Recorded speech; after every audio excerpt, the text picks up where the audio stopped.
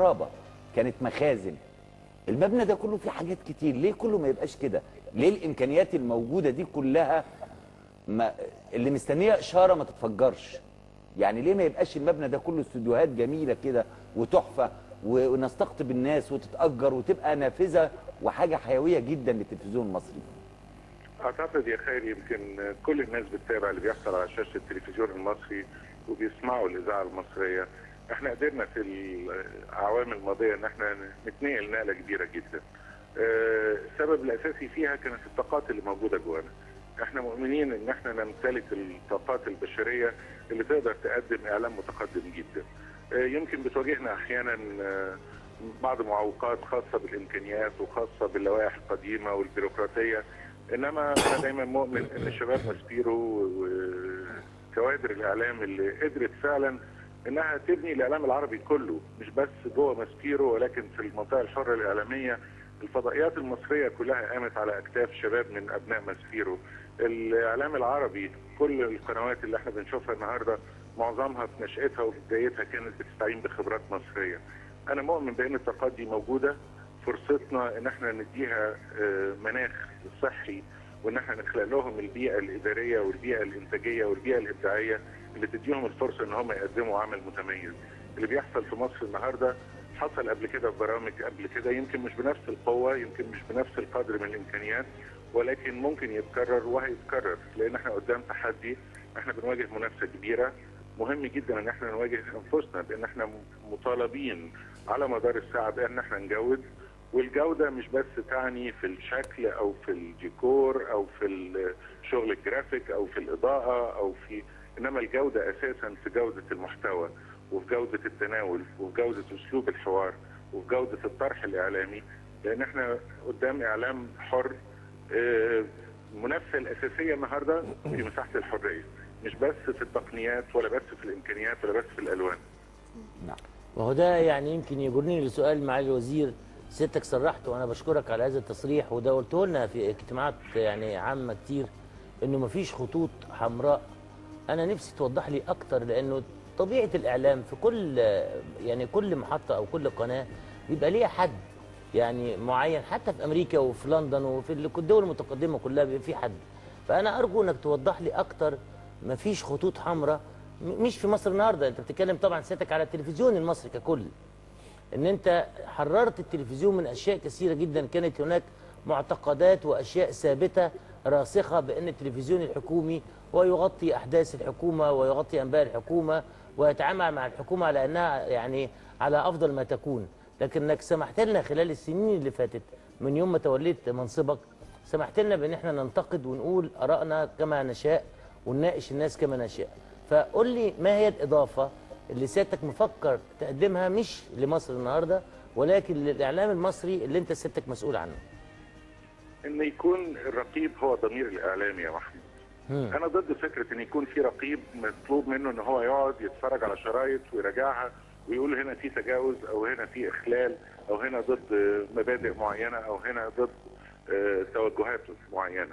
نعم. الضمير اللي بيحكم العمل الإعلامي هو ضميرك وضمير منى وضمير تامر وضمير خيري وضمير فريق الإعداد نعم. المصلحة الوطنية اللي لازم كلنا نبقى شايفينها ونبقى عارفين حدودها وعارفين إحنا إمتى نكون بنعبر عن رأي الناس وإمتى نكون بندي مساحة للرأي الحر إن هو فعلا يضيف للوطن وإمتى نكون بنهدم وبنشيح حالة من اليأس أو الإحباط مم. الخيوط رفيعة جدا ما يقدرش يشوفها غير الإعلامي المهني المتمرس.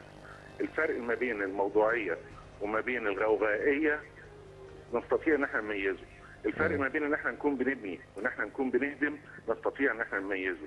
الفرق إن إحنا ندي مساحة للراي الآخر وإن إحنا نعترف بحق الاختلاف أو إن إحنا نكون مستبدين برأينا. في الآخر المشاهد هو اللي هيحكم وفي الآخر المشاهد هيقرر والنهاردة أنتم موجودين في برنامج تفاعلي في برنامج بصيغة جديدة في برنامج مفتوح على الإنترنت وبتتلقوا اتصالات وبتتلقوا تعليقات. إذا ما قدرتوش تكونوا على قدر هذه المسؤولية المشاهد هيحجب عنكم لأنه هيلاقي مكان آخر بيعبر عن الامه بيعبر عن أحلامه بيقدر يديله فرصة إن هو يقول رأيه وده مهم جدا إن أنتوا تكونوا ضمير الناس. طب اسمح لي معالي الوزير يعني أنا شخصيا أو بعض زملائي قد سببوا لسيادتك أكثر من حرج؟ في أكثر من مرة لأنه ممكن ننتقد وزير وهو زميلك في مجلس الوزراء أو ننتقد مسؤول كبير ممكن يرفع السماعة ويكلمك يقول لك سياده الوزير دول مثلا يعني هاجموني دول انتقدوني دول. كيف تواجه مثل هذه الأمور؟ وأنت فتحت المجال وهذا قد حدث بالفعل إن بعض المسؤولين اشتكونا لسيادتك أو غضبوا أو تصوروا إن سيادتك موافق لنا إن إحنا نهاجمهم كيف تتعامل مع هذا الأمر مع الوزير؟ اولا الحاله اللي حضرتك بتتكلم عليها ما اتكررتش كتير. بس بتتكرر. المسؤولين المسؤولين دايما وأنا أعتقد إن إحنا كلنا وفي حكومتنا بنمثل يمكن مدرسة مختلفة ومدرسة جديدة في التفاعل مع الجمهور. نعم. إحنا بنرحب بالرأي الآخر وبنرحب بالنقد وبننتقد. والنقد اللي إحنا بنعرض ليه كلنا كوزراء وكمسؤولين في الدولة في الصحافة يمكن بيفوق كثير اللي بنتعرض ليه في الإعلام المسموع والمرئي. كل ما نرجوه الموضوعية في التناول. بمعنى إنك أنت إذا كنت بتطرح قضية أحد المسؤولين مسؤول عنها مهم جدا ان يكون موجود مهم جدا ان صوته يكون موجود وفي نفس الوقت برضو إن إحنا لما مسؤول بيعمل حاجة كويسة نقول له أنت عملت حاجة كويسة طبعاً، طبعاً. بعض الناس النهارده بتخشى وبتخجل إن هي تقدم أي نوع من الثناء أو التحية لمسؤول بيقدم حاجة صحيح. بعض الناس بتعتقد إن الاختلاف وإن إحنا دايما نهاجم الحكومة وإن إحنا دايما نهاجم النظام وإن إحنا دايما يكون صوتنا عالي هي دي الحرية. الحرية إن أنا أقول كلمة حق. الحرية مسؤولية. الحرية إن لما واحد يعمل شيء صح أقول له أنت عملت شيء مهم للوطن وأضفت شيء للوطن.